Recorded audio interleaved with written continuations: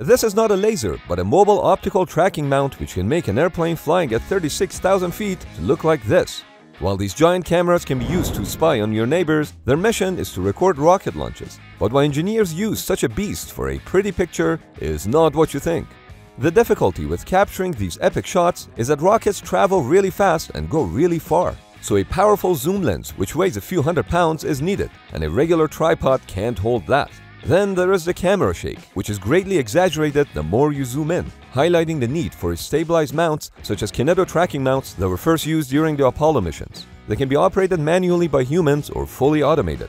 And beyond epic shots, this footage provides invaluable information on how the rocket performs during critical parts of its mission, which is later analyzed by engineers. And if something were to go wrong, this high-quality video footage may hold the key to identifying the problem, just like it happened with Space Shuttle Columbia, when debris hit the shuttle, causing it to disintegrate upon returning to Earth.